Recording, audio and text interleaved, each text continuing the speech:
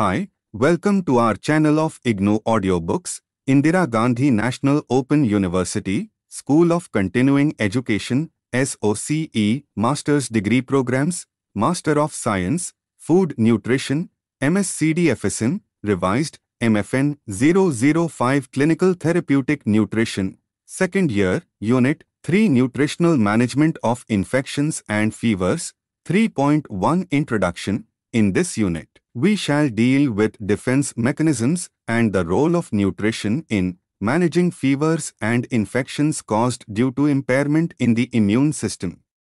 Go through these two examples given below to have a brief idea of the kind of issues with which we shall deal in this unit. Case I is a easy-going college student, 19 years of age. Extremely fond of snacking and trying out all varieties of food ranging from the dhabas to the branded ones. This summer she took ill. She had fever which she never monitored to begin with, but it kept on rising day by day. She was anorexic, felt bloated, complained of abdominal cramps and episodes of diarrhea. She lost considerable weight. What do you think is the problem with Shalini? Case to Ram Singh is a coolie. He stays in the adjoining hutments of the railway station which has bad drainage, poor lighting and ventilation. In the recent past, he has been suffering frequently from upper respiratory infection, cold, cough and mild fever. This has been continuing for the past one year. Now he has started feeling weak and his cough has worsened with thick sputum and sometimes blood in sputum.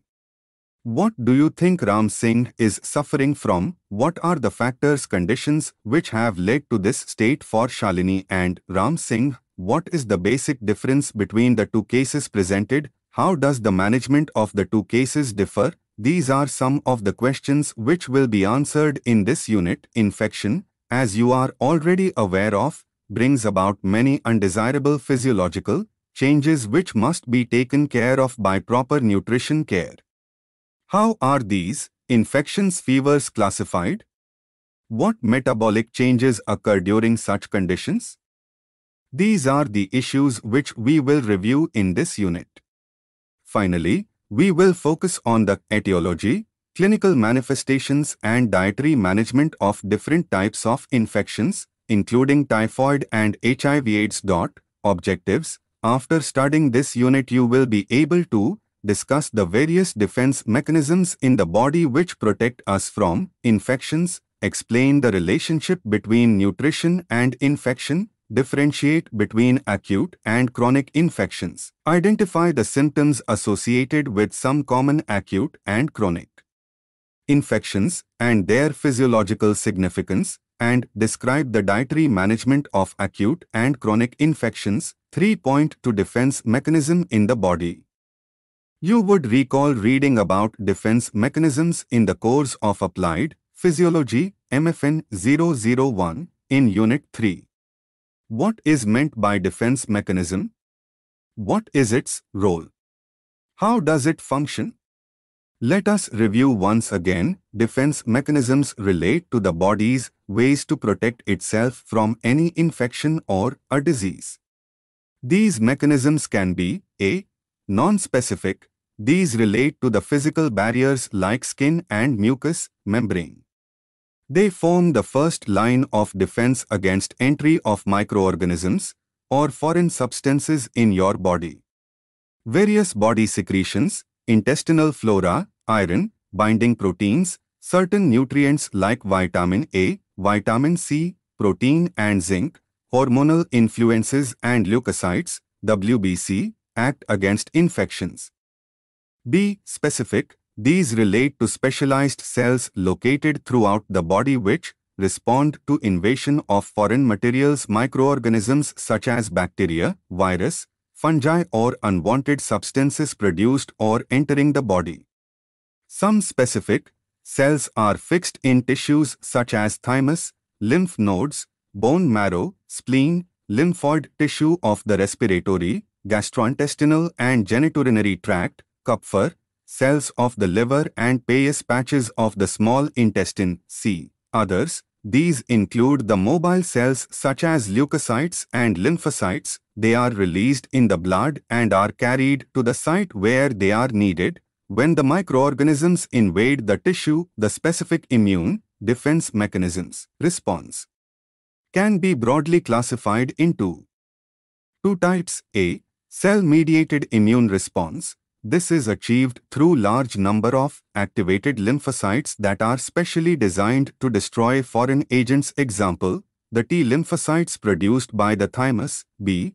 Humoral immune response, the body develops circulating antibodies which are globulin molecules that are capable of attacking the invading agents, B. Lymphocytes are produced by lymphoid tissue.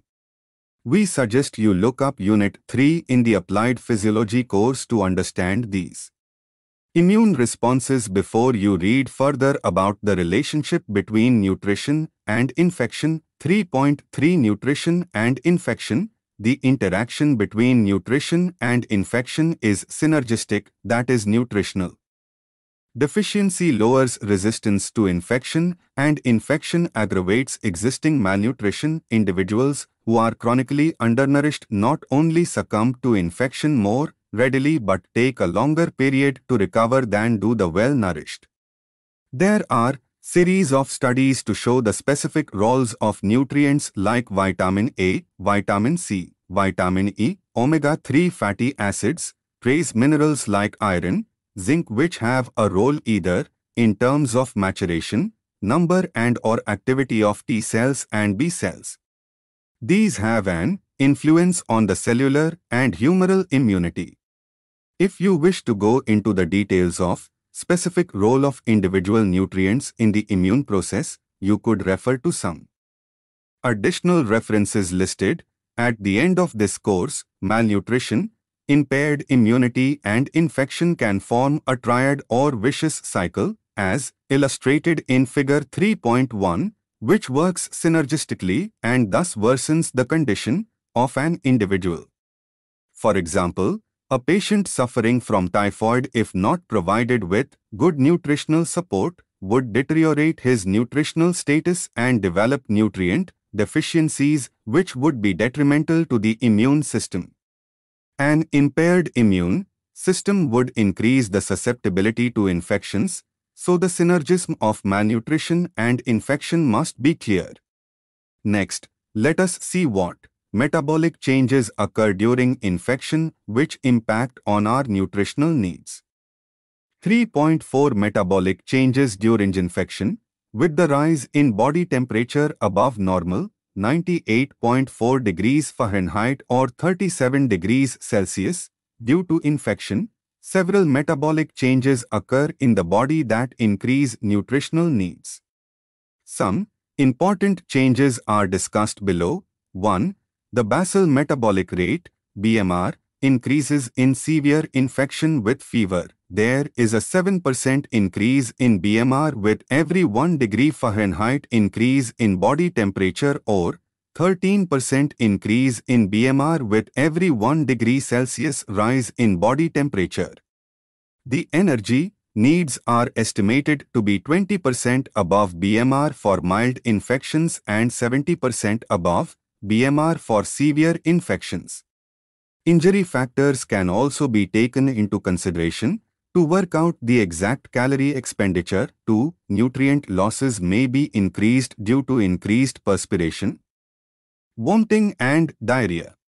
Minerals like sodium, potassium, zinc, magnesium and phosphorus are lost by the body. 3. Infection and fever sets in an environment of catabolism, breakdown, in the body infection can be related to a state of physiological stress. The body responds to this stress by altering the levels of several hormones to meet the increased requirements, acute phase response. Increased levels of glucocorticoids, growth hormone, catecholamines, glucagon work synergistically to increase glycogenolysis, breakdown of glycogen, and gluconeogenesis, formation of glucose from non-carbohydrate sources. In addition, increased insulin levels and insulin resistance at the cellular level decreases the ability of the body to utilize carbohydrates as substrate for energy. Thus, body favors protein breakdown, catabolism, followed by fat breakdown, lipolysis, as the major substrate for meeting the energy requirements. Branched chain amino acids, leucine, isoleucine and valine, are used as major substrate for energy by the liver through the process of transamination, transfer of amine group, deamination, removal of NH3 from amino acid, followed by gluconeogenesis. The muscle breakdown favors nitrogen excretion and sets in a state of negative nitrogen balance excretion intake. The rate of protein breakdown, catabolism, increases depending upon the severity of the infection and the duration of fever. There are increased losses in long continuous fevers than in short duration fevers. Protein breakdown is especially marked in fevers such as typhoid, malaria, poliomyelitis and tuberculosis. This leads to increased nitrogen wastes and places, an additional burden on the kidneys. 4. Infection and fever is invariably accompanied by anorexia, lack of appetite, which limits the food intake causing decreased energy intake which is not sufficient to meet the increased energy requirements. Thus leading to weight loss which, particularly marked in severe infections. 5. The absorption of nutrients also decreases if there are intestinal infections. 6. Excessive sweat and urination causes further loss of body fluids and electrolytes. This can be an outcome of severe infection with high fever.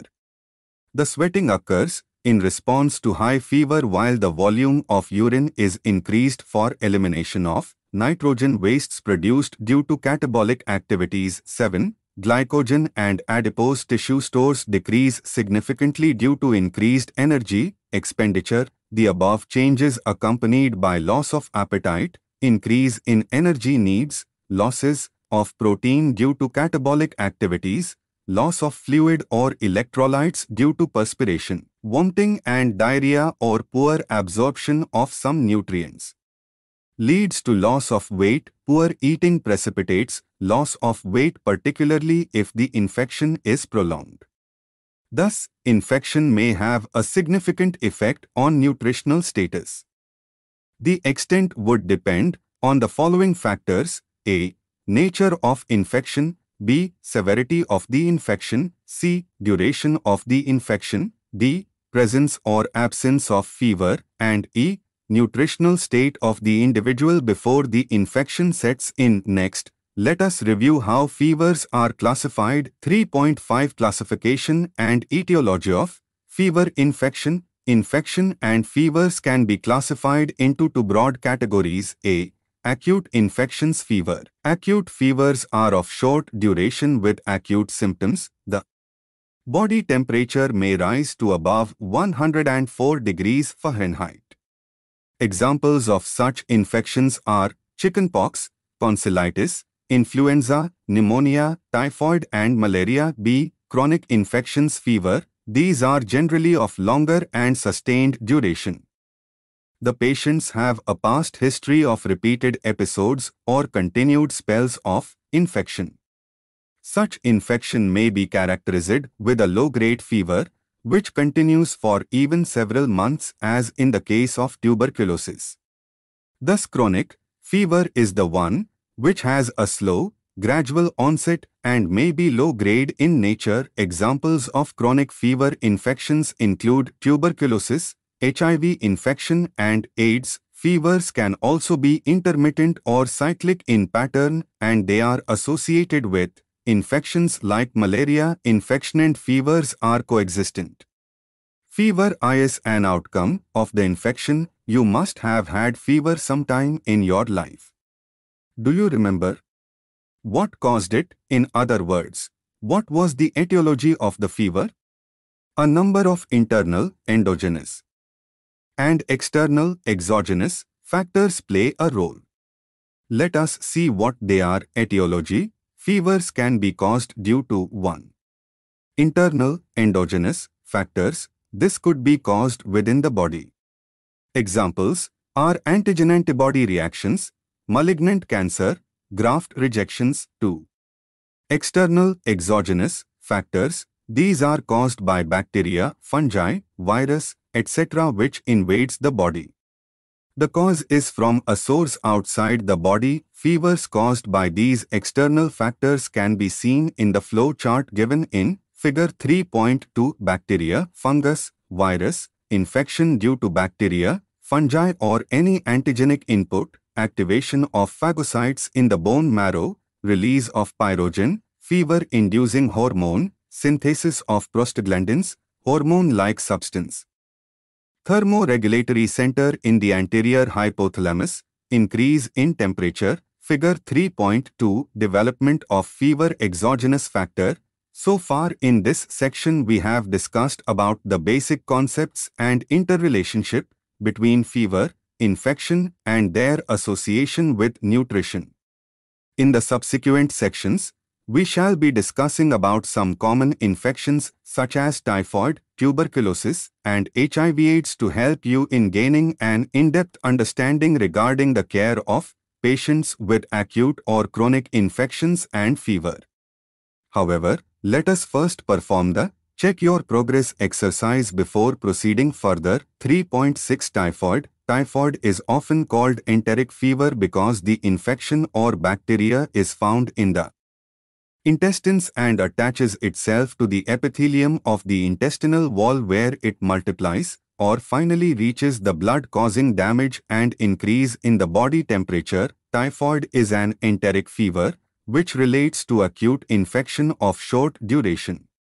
It is caused by bacteria called Salmonella typhosa about which you may recall studying in the Food Microbiology and Safety course MFN 003. In Unit 5, subsection 5.4.1, the mode of spread of this infection is through the fecal-oral route.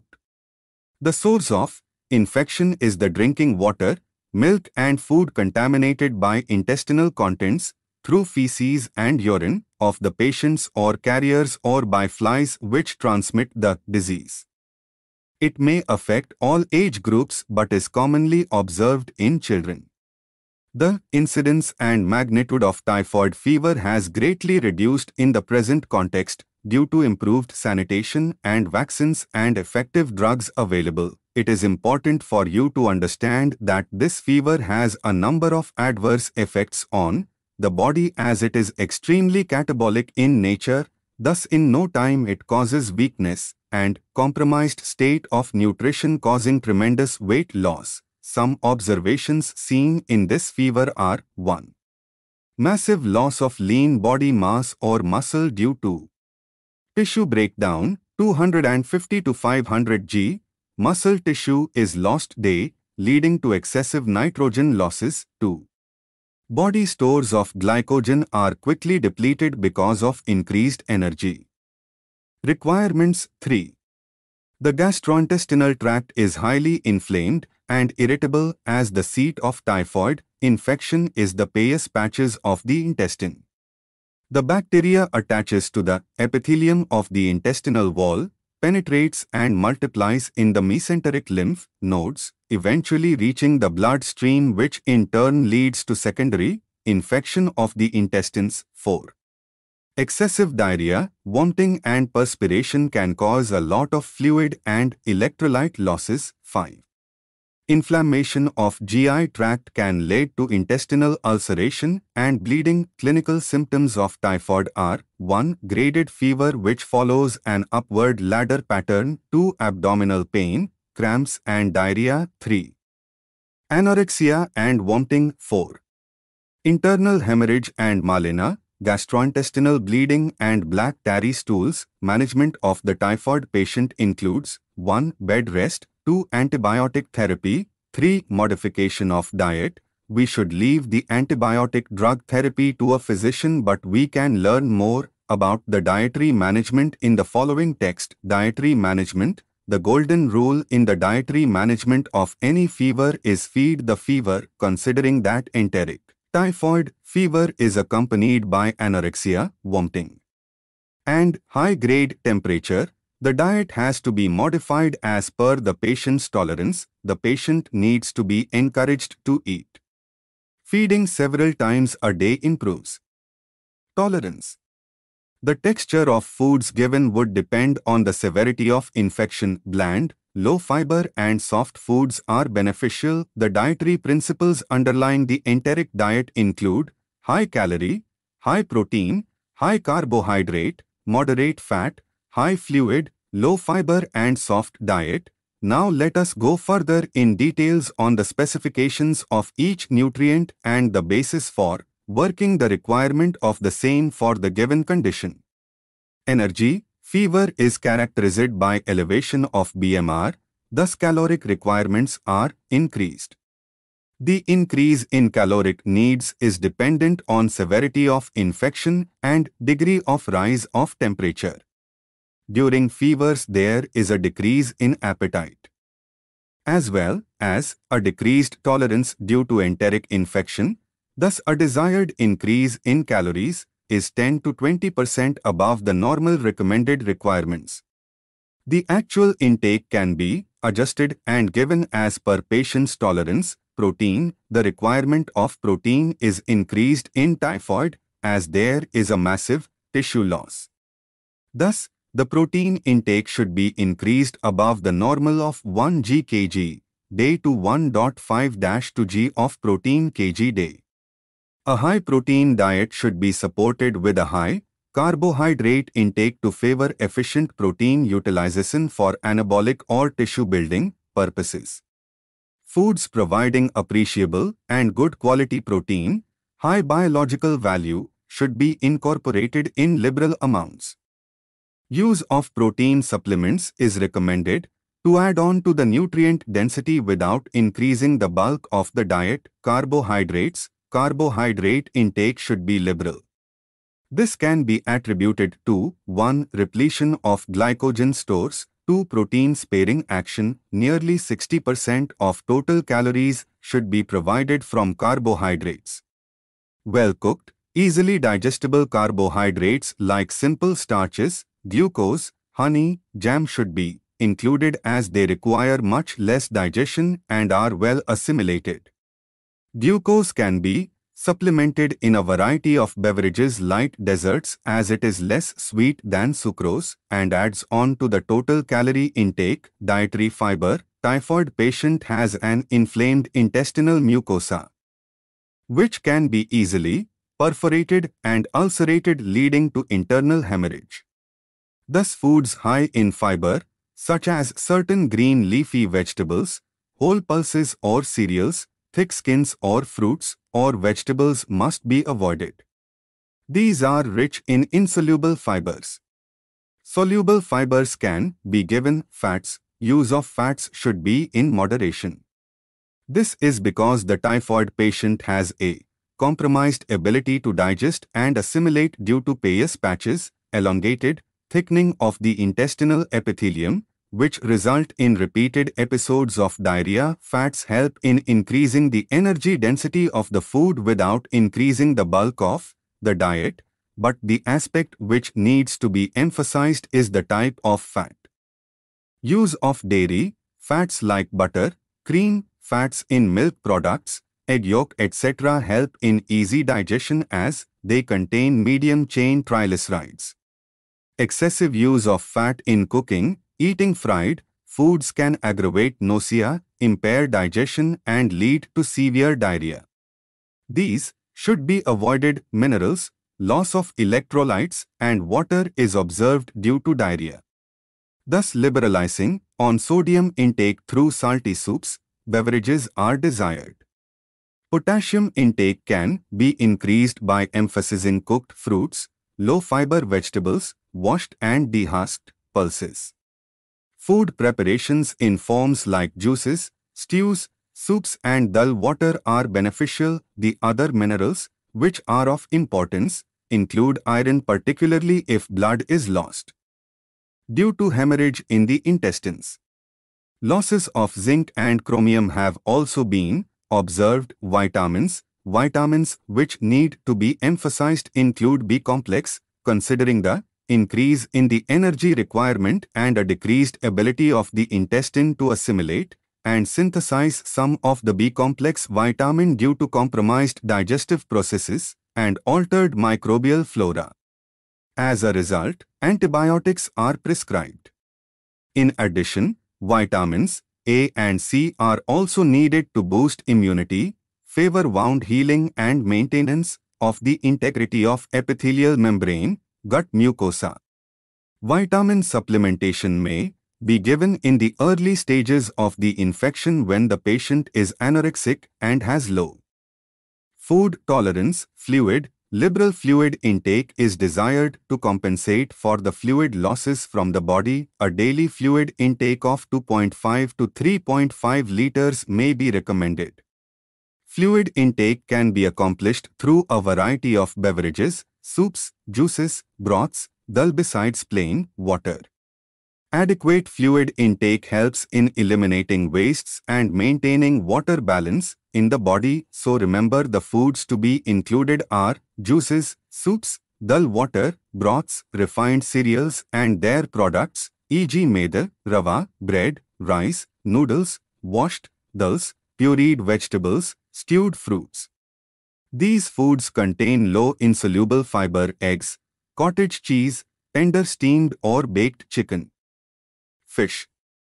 These contain high biological value proteins, fruit juices, gelatin, honey, sugar and milk products. Calorie and protein-rich desserts could be prepared. Foods to be restricted include excessive milk and milk products and dairy fats such as cream and butter. Foods to be avoided are high fiber foods like whole grain cereals and their products, e.g. whole wheat, flour, cracked wheat, whole pulses, raw vegetables and fruits, fried fatty foods, chemical irritants like spices, pickles, papad, ketchups etc. Next, we shall review the chronic fevers and see how dietary management of these differ from the acute fevers, 3.7 chronic fever infection. As mentioned earlier, Chronic fever and infection are always supported with a long-standing history of symptoms or repeated episodes of infection. One of the commonly observed chronic infections is tuberculosis. Let us understand the treatment and management of this chronic infection. 3.7.1 Tuberculosis Tuberculosis is a chronic infectious disease which is caused by a bacterium, Mycobacterium tuberculosis. It affects the lungs most commonly but can get localized in other organs also, like lymph nodes, kidney, bone, etc. The most commonly observed form of tuberculosis in India is pulmonary tuberculosis. The prevalence of tuberculosis earlier was restricted to lower socioeconomic strata. Being attributed to poor hygiene, sanitation and poor quality of food intake. The present scenario reveals an increasing incidence of tuberculosis in people from higher socioeconomic strata as well. A strong genetic history gets highlighted in most of the cases. This disease presents itself in an acute and a chronic phase. In the acute stage, the disease is quite similar to that of acute fever and the chronic phase to that of chronic fever. The chronic phase is accompanied by low-grade fever, and therefore increase in metabolic rate is not so marked. The long duration of illness, in turn leads to wasting of body tissues, the symptoms, treatment and dietary management are enumerated next. A. Salient features of pulmonary tuberculosis. The salient features tuberculosis include wasting of tissues, exhaustion, cough, expectoration, and fever, the acute phase, resembles pneumonia with high fever. The chronic phase presents itself with low-grade fever accompanied with exhaustion, cough, expectoration and loss of weight. The progression of the disease may be slow with gradual worsening of the cough. This can lead to erosion of the blood vessel of lungs. The tubercle bacteria may thus subsequently get access to other body organs, thereby establishing numerous secondary foci of infection. B. Treatment the disease can be very effectively treated with the help of antibiotic therapy. Rest and nourishing food. The key to the treatment is early detection of the disease. The antibiotic therapy given should be continued for the stipulated period of time, 6 months to 1 year, in spite of the waning of the symptoms.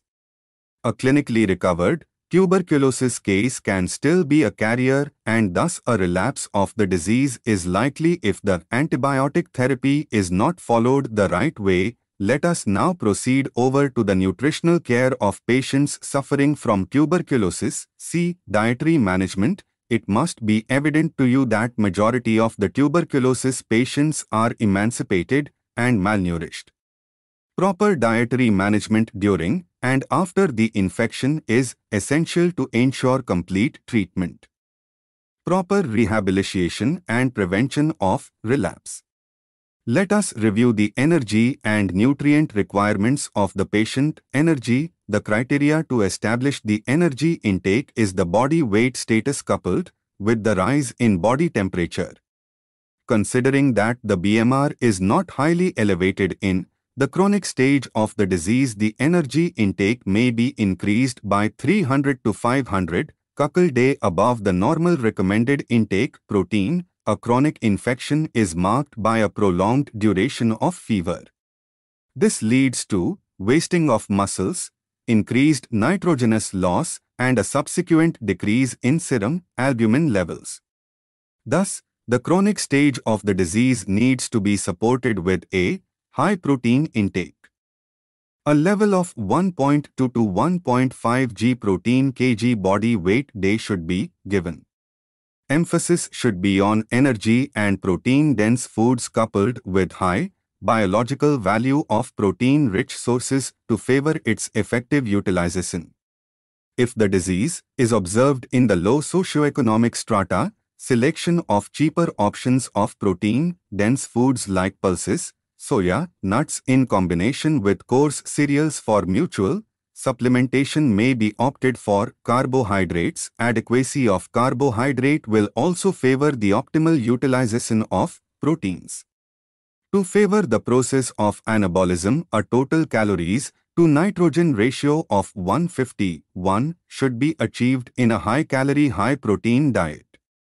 Carbohydrate being the most preferred substrate of energy by the body has a protein-sparing effect. Fats, fats add to the calorie density of the diet.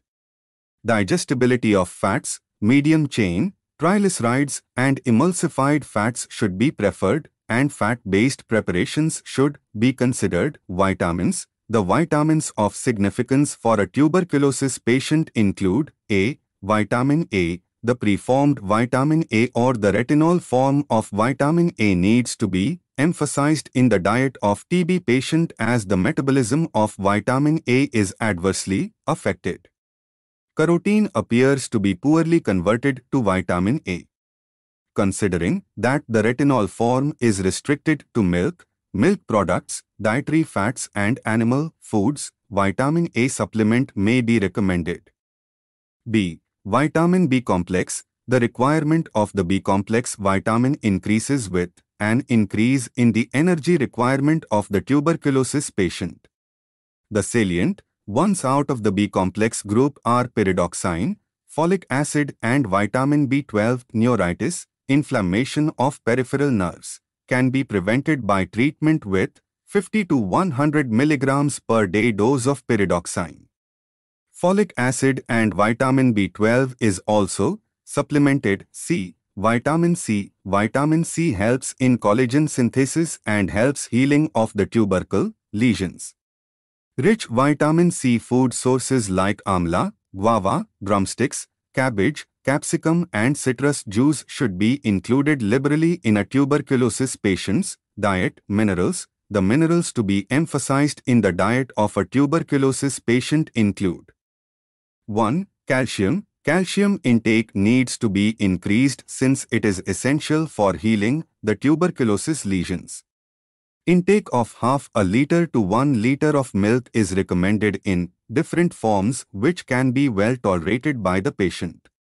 Calcium supplementation 500 milligrams per day with active form of vitamin D may also be prescribed to iron. The need of iron may be a concern in case of blood loss associated with expectoration or hemorrhage. The patient's hemoglobin levels should be monitored. The diet should be tailored as per the needs.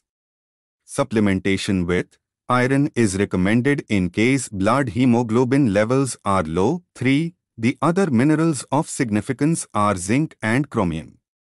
These minerals help in boosting the immune system.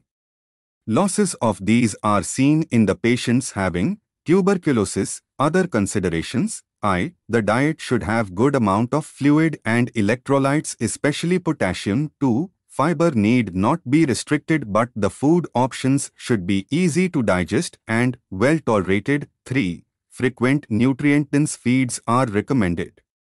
Force feeding is not desired. 4. A normal dietary pattern needs to be followed with a wise, balanced and nutritious selection of foods, let us conclude the discussion by highlighting the foods to be included or restricted in the diet of a tuberculosis patient. Foods to be included cereals, ragi, jowar, bajra, dot, pulses, black channa. Chavli, moth, rajma, dot, nuts and all seeds, green leafy vegetables like methi, cholai, mint, spinach, cabbage, drumstick, leaves, colocasia and cauliflower greens, citrus fruits, guava, amla, capsicum, dot, milk and milk products, jaggery, sugar, foods to be restricted, excess fat, fried preparations, organ meats, liver, kidney, brain, red meat and refined sugars.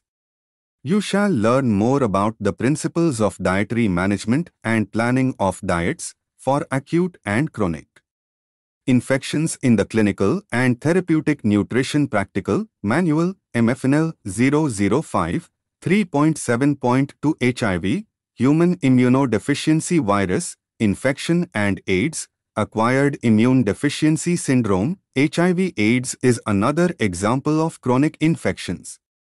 Its existence was discovered recently in 1981. The spread of HIV infection is widespread and can progress to AIDS.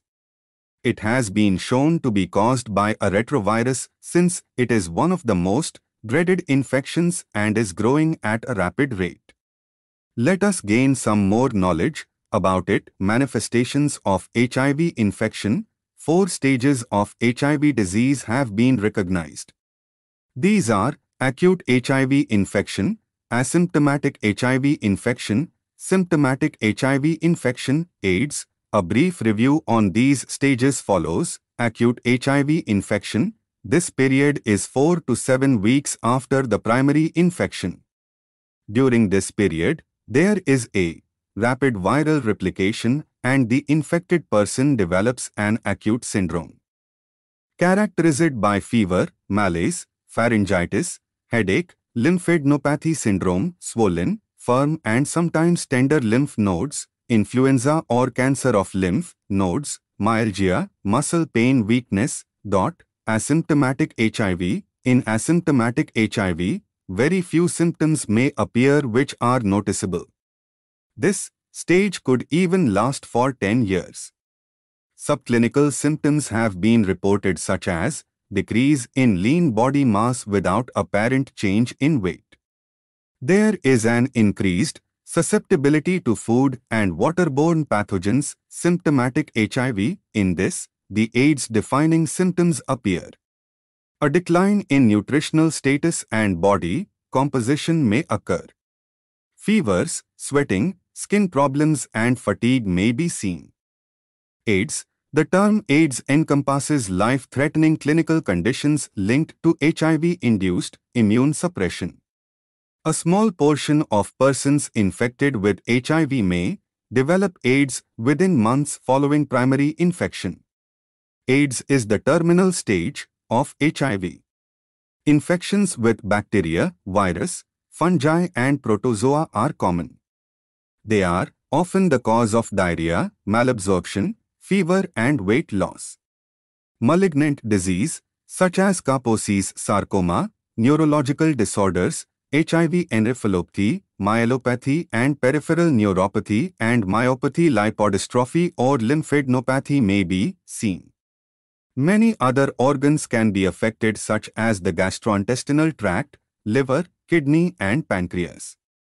Mycobacterium avium complex can be seen in the lymph nodes, liver, bone marrow, blood and urine of patients. Most cases are affected by tuberculosis of the lungs. Acute renal failure is seen in many subjects. Chronic diarrhea may persist in the absence of identifiable enteric pathogens as a result of AIDS enteropathy. Malnutrition is an important complication of AIDS. Protein energy malnutrition is seen as weight loss, body cell mass depletion, decreased skin fold thickness, decreased midarm circumference, decreased iron binding capacity and hypoalbuminemia. AIDS wasting syndrome is commonly reported, so you could see for yourself the myriads of complications and disease conditions which an AIDS patient suffers from. We would like you to understand a little more about some of the symptoms complications that have been mentioned above, Kaposi's sarcoma, this is a malignant disease of the peripheral blood mononuclear cells, which manifests itself as purple nodules on the skin, mucous membranes, lymph nodes, and throughout the gastrointestinal tract. These purple nodules in the oral cavity or esophagus lead to pain and difficulty in chewing or swallowing. If in the intestinal tract, they can cause diarrhea and even intestinal obstruction. Lymphomas, including non-Hodgkin's lymphoma can involve the small intestines and cause malabsorption, diarrhea and intestinal obstruction.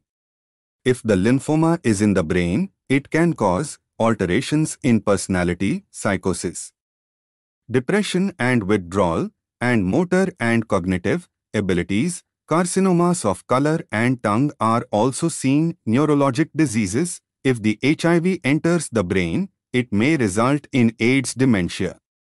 Myelopathy, disease of the spinal cord, can result in paralysis of the lower extremities. Myelopathy affects the motor and sensory functions leading to spasticity, weakness in legs, peripheral neuropathy is characterized by sensory loss, pain, weakness and wasting of muscles in the hands, legs and feet. The first signs are tingling, burning, numbness in toes and fingers AIDS wasting disease. It is a diagnosis for AIDS in the HIV-positive individuals for whom no other cause of the symptoms can be identified. It is characterized by persistent fever, chronic fatigue, malaise and diarrhea of unknown etiology. Weight loss of 10% to 15% is common, lipodystrophy, this is a disturbance of fat metabolism that involves the loss of the thin layer of fat making veins visible and protruding. Wasting of the face and limbs and accumulation of fat in the abdomen and between the shoulders is an important feature. Lymphadenopathy syndrome, the lymph nodes are swollen, firm and sometimes tender causing a range of infections such as HIV, influenza or even lymphoma cancer of lymph nodes. Dot. Today several retroviral drugs are available to destroy HIV or suppress its replication. Management after a viral load test which measures the quantity of free virus circulating in the bloodstream as CD4 and T cells can make the treatment comprehensive and focused on likelihood of developing AIDS. CD4 cells, also known as T cells are essential components of the defense mechanism against infectious diseases. Table 3.1 gives some idea of the CD4 cell count, the conditions, common problems and symptoms associated with it. Result of CD4 tests are used to plan appropriate treatment measures and medical intervention. Table 3.1 Condition associated with CD4 cell count in HIV infection Look at the screen. Now that we are clear about HIV AIDS and the complications linked with it, let us move further and learn about the etiology, prevalence, diagnosis and medical nutrition. Therapy for this chronic infection A. Prevalence, etiology, and pathophysiology More than 33 million people throughout the world suffer from HIV as estimated by WHO, World Health Organization, 2017. Currently the infected umbrella spreads in a descending order to Sub-Saharan Africa, South, Latin America, Caribbean, North America, Middle East, Western Europe, Eastern Central Asia, China, Japan etc.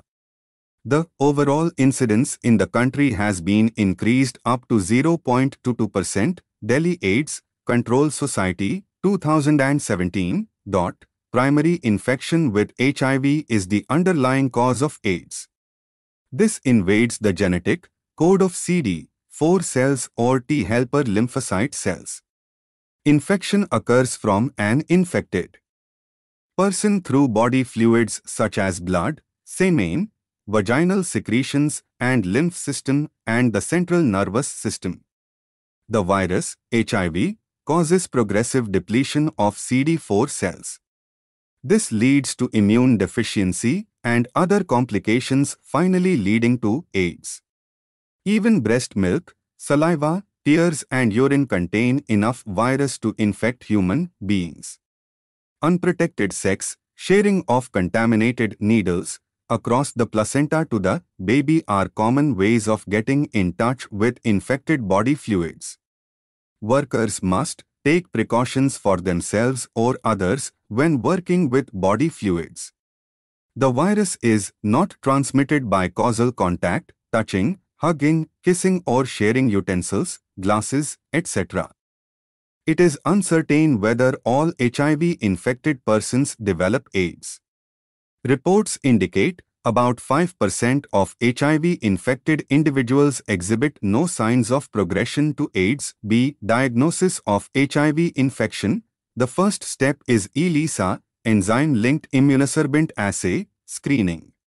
The second step involves Western blot testing for confirmation of suspected positive samples. Both the tests are highly sensitive and specific. This is associated with the clinical symptoms that may vary with the stages of disease. See HIV medical management. The goals of medical management of HIV are to prolong life and improve the quality of life, suppress the virus to as low a level as possible, optimize and extend the usefulness of currently available therapies and minimize drug toxicity and manage side effects. Disease progression differs from an individual to individual therefore treatment decisions must be individualized keeping in mind the stages, AIDS is the final stage of HIV. It often causes severe protein energy malnutrition and is often known as AIDS, wasting syndrome, D, malnutrition and AIDS, malnutrition is an important and complicated consequence of HIV infection. It normally manifests as 1. Protein energy malnutrition associated with weight loss, body cell mass, depletion, decreased skin fold thickness and mid-arm circumference, decreased iron binding capacity and hypoalbuminemia 2. AIDS wasting syndrome associated with the involuntary weight loss of 10% baseline body weight plus either chronic diarrhea, two lose stools day for more than 20 days, or chronic weakness and documented fever for 30 days or more, intermittent or constant, in the absence of an associated illness or condition that would explain the findings. It may be associated with the following A.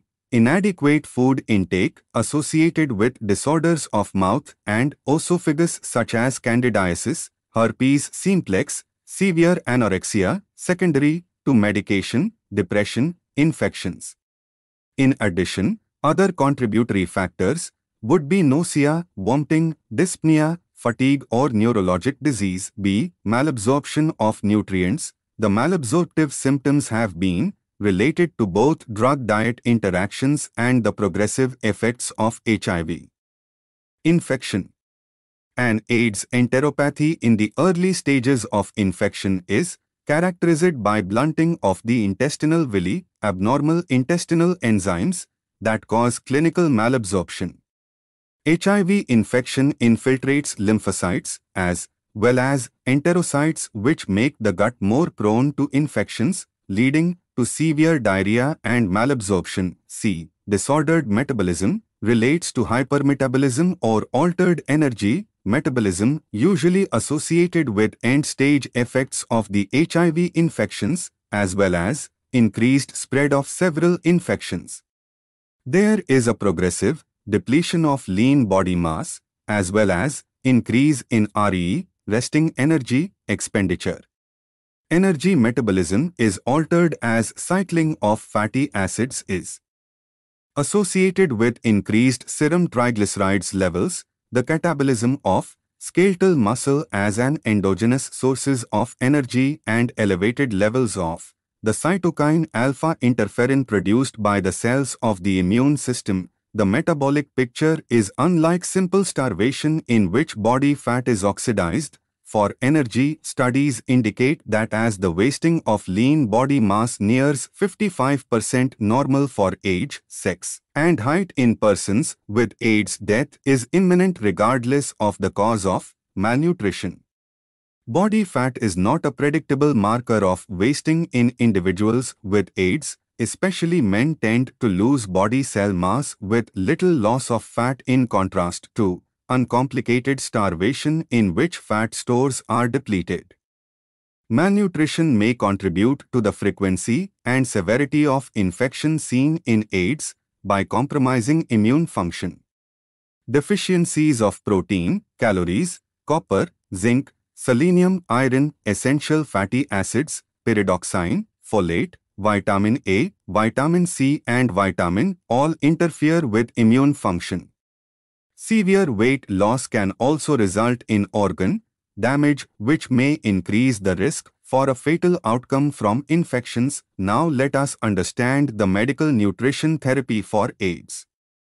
E. Medical nutrition therapy The general goals of nutrition intervention are to preserve optimal protein status, prevent nutrient deficiencies or excesses known to compromise immune function, minimize nutrition-related complications that interfere with either intake or absorption of nutrients, support optimal therapeutic drug levels, enhance the quality of life, and educate patients on importance of balanced diet or how to improve nutritional status. Table 3.2 Presence the screening criteria for medical nutrition therapy in HIV-infected adults and adolescents older than 18 years of age. Table 3.2 Screening for medical nutrition therapy in HIV-infected adults and adolescents older than 18 years of age, referral is automatic when any one of the following conditions exist. 1. Newly diagnosed HIV infection or never been seen by a registered dietitian. 2. If asymptomatic, not seen by a registered dietitian in the past 6 months to 1 year. 3. Newly diagnosed HIV with symptoms or AIDS. 4. If HIV with symptoms or AIDS, not seen by a dietitian in the past 6 months or more 5. Greater than 5% unintentional weight loss from usual body weight within the last 6 months. Or since the last visit, percent weight loss formula, usual body weight current, body weight 106. Poor oral intake of food or fluid 7. Change in stools, color, consistency, frequency. Smell 8. Persistent gas, bloating, heartburn 9. Persistent diarrhea or constipation 10. Persistent nausea or vomiting 11. Difficulty chewing, swallowing. Mouth sores, thrush or herpes simplex type 1 12. Severe dental caries 13. Changes in perception of taste of smell 14. Food allergies, food intolerance, fat, lactose, wheat, etc. 15. Economically unable to meet caloric and nutrient needs 16. Concomitant diabetes mellitus, hypertension, hepatic or renal insufficiency heart disease, cancer, pregnancy, or other nutrition-related condition 17. Visible wasting 450 mg per deciliter 21. Scheduled chemotherapy or radiation therapy 22. Medication regimen that involves food or meal modification 23. Need for enteral or parenteral nutrition 24. Patient or MD-initiated weight management, obesity, vitamin mineral, supplementation, vegetarianism or complementary alternative diet therapies once the patients have been screened for medical nutrition therapy, the dietary guidelines include energy. Energy needs vary depending on the health status of the individual at the time of HIV infection, the progression of the disease and the development of complications that impair nutrient intake and utilization. Activity can also affect energy requirements. Depending on the activity, the energy is increased. In case of fever, the energy intake should be further increased so that there is no loss of weight. Protein High protein diets might safely promote positive nitrogen balance and lean body mass repletion. Studies are still needed to clarify the ability of high protein diets to reverse HIV-associated malnutrition and body composition changes. Considering that the requirements of protein are increased, an intake of 1.0 to 1.4 gkg for maintenance and 1.5 to 2.0 gkg for repletion has been recommended. Protein restriction is recommended only in persons with severe hepatic or renal diseases, fats, a moderate fat intake is recommended for an HIV patient to add on to the caloric density and palatability of the food given. Tolerance to fat varies from person to person. Studies suggest that the use of medium-chain triglyceride MCT oil is better than long-chain triglycerides-based supplements for decreasing stool fat and stool nitrogen content and in reducing the number of bowel movements and abdominal symptoms. MCTs are more readily absorbed than long-chain triglycerides. Fish oil, omega-3 fatty acids, when given with MCT oil may improve immune function because this combination is less inflammation promoting than the usual omega-6 fatty acids, fluids and electrolytes. Fluids needs in HIV-infected individuals are similar to those of well individuals and are calculated to be 30 to 35 ml kg, 8 to 12 cups for adults, with additional amounts to compensate for losses from diarrhea, nausea and vomiting, night sweats and prolonged fever. Replacement of electrolyte loss, Na, K and chloride, in the presence of vomiting and diarrhea is also recommended. Vitamin and minerals. The exact requirements for vitamins and minerals are still unknown. Increased intake of the following micronutrients, carotene, vitamin E, ascorbic acid, vitamin B12, vitamin B6 and folic acid is recommended. Use of vitamin, Mineral supplement providing 100% RDA is also recommended. Water safety HIV AIDS subjects are vulnerable because of the immune suppression, hence waterborne pathogens are a concern. Water safety is important. Boil water, filter tap water, use boiled water as far as possible. HIV and AIDS infected patients are known to have symptoms associated with medications, malnutrition, malabsorption. Some of the practical eating suggestions for symptom management are given in Table 3.3. Table 3.3 Practical eating suggestions for symptom management, symptom problem management, nausea small, frequent meals, avoidance of high-fat, greasy foods, cool or room temperature foods, avoidance of lying down flat after eating, sore mouth, throat soft, moist foods, avoidance of spicy or acidic foods, experimentation with temperature of foods, avoidance of very hot or very cold foods, cool or room temperature foods are best. Use of nutrient and Energy-dense foods to maximize oral intake, xerostomia, dry mouth, use of foods that are moist or served with a sauce or gravy. Consumption of liquids at mealtimes and extra fluids between meals. Emphasis on good oral hygiene, flossing, brushing, and rinsing, regular dental care. Use of fluoride gels or mouthwashes. Consideration of prophylactic antifungal therapy. Chewing of sugarless, gum or sucking of mints, difficulty with breathing.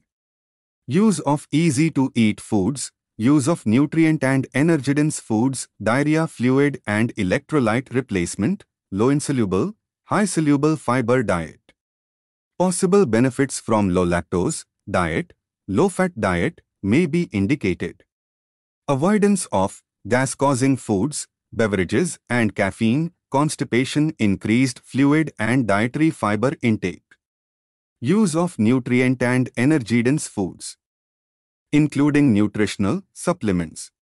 Use of small, frequent meals and snacks, consideration of alternative nutrition support, fatigue, adequate sleep, relaxation, exercise, adequate diet, especially foods rich in vitamins, B12, A, C, folate, and carotene or zinc, as inadequate levels may cause fatigue, avoidance of caffeine, alcohol, cigarette smoking, and recreational drug use. Avoidance of stress and treatment of anxiety or depression, identification and management of possible causes for anemia, medications, AZT, Bactrim, interferon, pyrimethamine, other causes, alcohol abuse, bleeding, Mycobacterium avium complex, tuberculosis, fungal infections, cytomegalovirus, body cell mass loss adequate diet. Parotitis, respiratory tract infection etc. be moderately symptomatic, anemia, neutropenia, cardiomyopathy, diarrhea, herpes stomatitis, nephropathy, fever 1 month etc. see severely symptomatic, opportunistic infections, severe, failure to thrive, wasting syndrome, HIV encephalopathy, malignancy, etc., you will find it difficult to understand some of the technical terms. Read the glossary in this unit which defines these terms nutritional problems among infants and children infected with HIV are related to dash poor growth weight gain dash impaired immune function and recurrent infections dash depressed gastrointestinal tract function malabsorption of fat, protein and carbohydrates even without diarrhea, dot, dash malnutrition with multiple nutritional deficiencies, dash dysregulation of lipid metabolism and the fat redistribution syndrome, dash poor appetite, limited food preferences and taking a long time to eat, nutrition assessment is very important before developing a diet plan for HIV-infected children. Since developmental delays may occur, therefore the infant child's developmental age rather than the actual age should be used to assess the most appropriate textures, feeding position and utensils. As a dietitian, you must make an attempt to identify the type timing of meals which can be managed by the child, caregiver, in particular the time, duration, the child takes to eat a particular meal. The nutrient requirement for pediatric patients can be much higher than for adults, the major changes in macro and micronutrients being dash the requirements for energy increase by 100% in view of their mobility, fever, and catch-up growth. The height for age data may be used as a guidance to Estimate energy requirements among children with impaired growth dash the protein requirements increase by 150% to 200% above the recommended dietary allowance to counteract nutritional demands imposed by HIV infection and also to promote adequate growth development of the infant child dash. The vitamin and mineral requirements are not known for pediatric patients, however, it is recommended to increase the intake by 100% through the incorporation of natural foods as micronutrients supplements are generally not recommended. Other special considerations alternative modes of feeding such as gastrostomy may be required. The patient's diet may be supplemented or substituted with semi-elemental or elemental formulas or age-appropriate SIP feed supplements may be given. Pediatric patients may have a poor appetite wherein the child should be served small frequent meals with palatable snacks in between. Prevent children from consuming too much of water beverages before meals. At times HIV-infected children may take a long time to eat meals. In such situations, limit meal timings to not more than 30 minutes.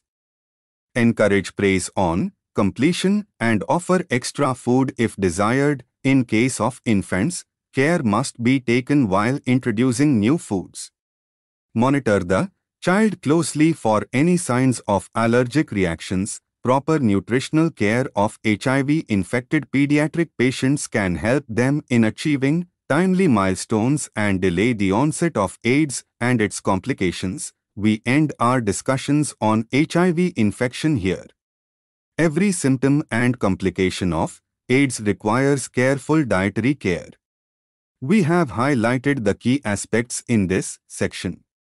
However, it would be a good diocese in detail from other knowledge sources. 3.8 Summary In this unit, we studied about the defense mechanism of our body.